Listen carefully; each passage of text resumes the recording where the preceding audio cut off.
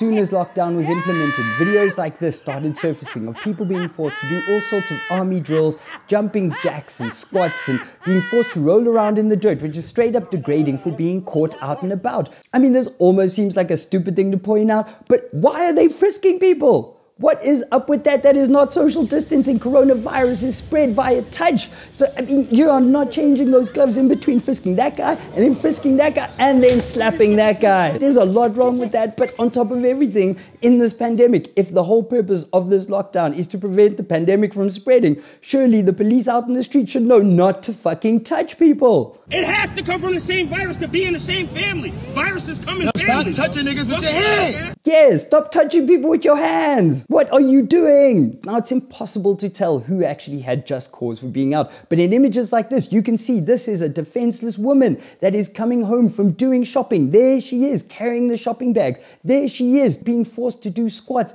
next to her shopping bags. South African police have a long standing history of treating the less privileged like shit. Now, this particular kid was coming home from buying groceries and he got beaten by the army. They chased this kid down without asking any questions and just started beating him. These are fully grown men kicking a boy, a child. What the fuck for? And you know what? After these videos surfaced and started doing the rounds on social media, the army came back. Not to come check if he was okay. No, but to come and find the people that posted the video. And they're not even breaking any laws. The military are twisting laws to harass people that are documenting their bullshit. It is madness out there on these streets. These cops think they are living in Grand Theft Auto. I do not even know what they think this is. Driving around just shooting rubber bullets. No asking questions, no warning, no discussion, just firing at random. Not even stopping the car to fire. They are literally just firing rubber bullets at people at random out on the streets.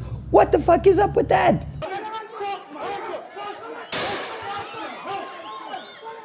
And look what happened when a journalist was out in the streets of Yeoville and suddenly she got shot at and then she tried to report it at the police.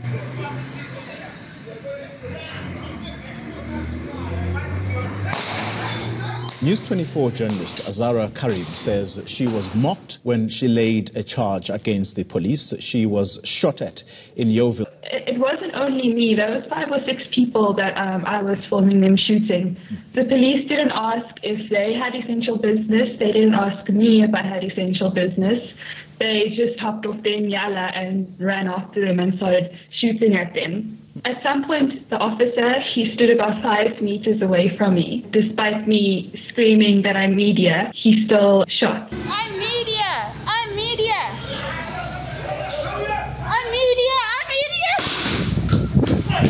So uh, I got to like that part of my story, and I was telling him that part, and he said, "Oh, he missed. What a waste!" And then him and the sergeant just burst out laughing. Yeah, and that is what a journalist, somebody that is privileged, walking into a police station trying to report police using unjust force, is being told. Can you only imagine what is happening to the less privileged? And what do you expect when these are the orders they're being given by their superiors?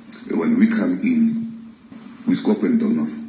For those that didn't understand it, skop and donder means kick and hit. This is what they are being told to do. These are the directives that they are being sent out onto the streets with. So it comes as no surprise when they are beating people up unnecessarily. There have been countless people that have ended up dead after being beaten up by police.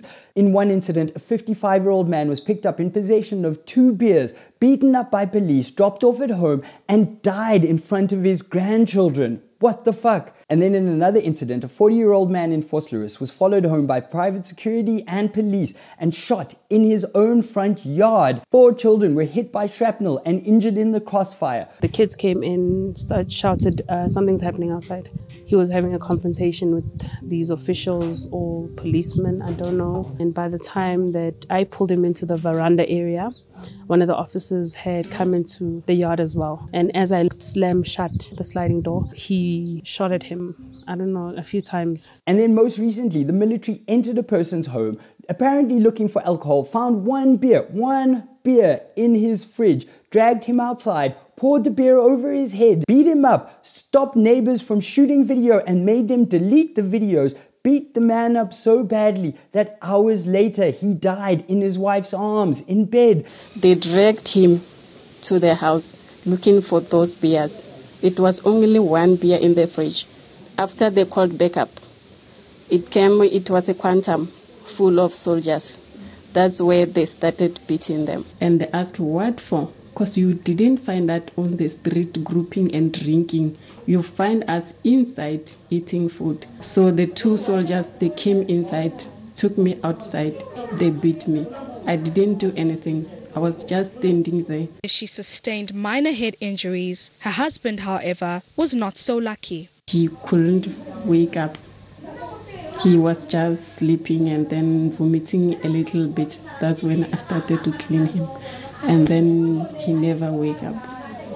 And that was caught on camera by various members of the Alexandra community um, some of them were also assaulted by members of the defense force and their phones were taken away. We have seen the military and the police uh, stripping our community members of their dignity, uh, frog jumping them, uh, making them to roll on the ground. But this is very, very shocking. None of these victims posed any threats to the police, military, or private security. Why were they being shot at? Why were they being assaulted? Assaulted to the point where they died from their injuries. This is fucked. People within Police Minister Bheki Cele's team has said he has completely lost the plot, that he is more concerned with arresting people for black market cigarettes and alcohol. That is the world that we're living in. While the military and the police are allowed to run around the streets of this country unchecked. Obviously, a notoriously corrupt police force is going to take full advantage of a situation like this. You know, let's just hear it from the horse's mouth. The owners of these bottle stores, who they come together with the criminals Uh, to, to push their stock. That's what happened in one of the tops where we have arrested our own police that were working with the manager.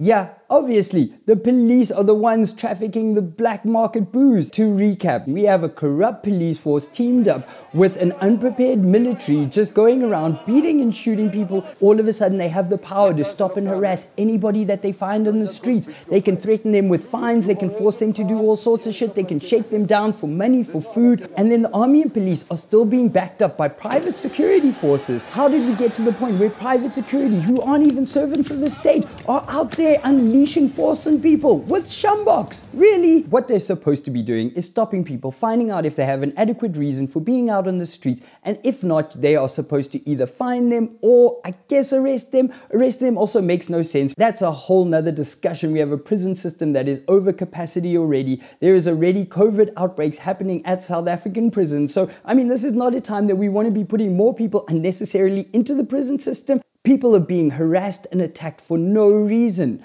all to implement this lockdown. To what ends? You know it's bad when Amnesty International are calling you out and telling you to get your shit in check. That is what is happening. Bheki Cele, Cyril Ramaphosa, sort your shit out. Amnesty International calling you out.